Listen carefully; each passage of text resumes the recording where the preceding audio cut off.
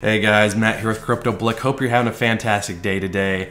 Today, I'm going to show you how to properly shut down your miners in your rig so that you can either update the software or be able to modify some parts on your rig, or maybe you need to add another GPU, whatever it may be.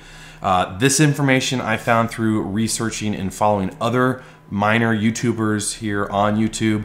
And so this is not just my opinion, but this is what the pros, as I consider, they do. So if that sounds good to you, let's hop in and let's get started. All right, so I'm in Hive OS here and I'm looking at my different GPUs that I have available. I've got my settings going, it's, it's mining away.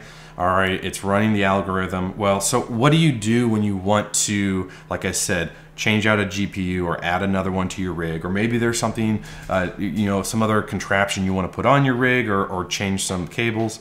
Well, what you're going to do here is come up to the miner actions section.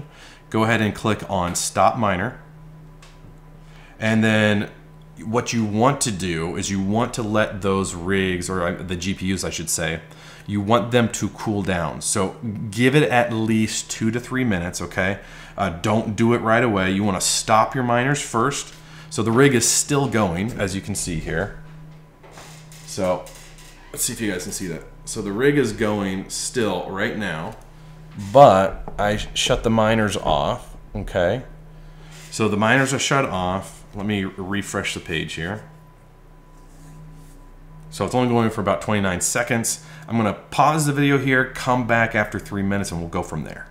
And we are back, and you can see I'm at three minutes and 37 seconds right now. So then come on up, because keep in mind, guys, the reason you shut down your miners first, you want them to cool down when they, they're on high temperatures so that you don't have any uh, melting going on within the GPU or causing any issues and cracking of any parts uh, because of the heat. So let those GPUs cool down, all right? And then come on over to Power Actions, shut down, and then you can shut it down, confirm right there. It will do its thing. Or if you want to do a reboot, click reboot.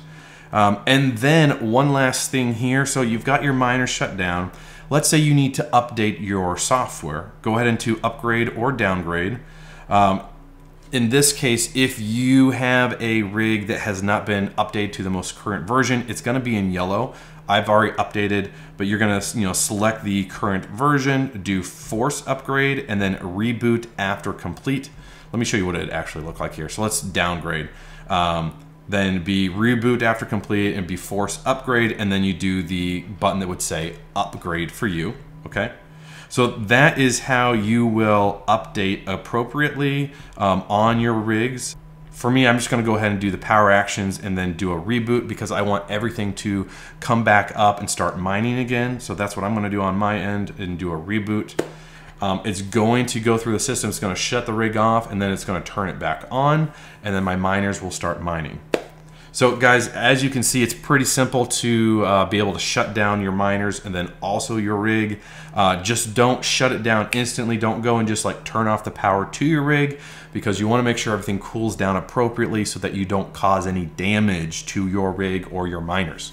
So if you guys found that helpful, hope you did leave a comment below, like the video, subscribe to my channel because I will be producing more content for you that hopefully is valuable to you from what I find through my own testing, but also through watching other professional miners on YouTube. So if you have any suggestions or comments, leave them in the comment section below. And until next time, I'll see you when I see you.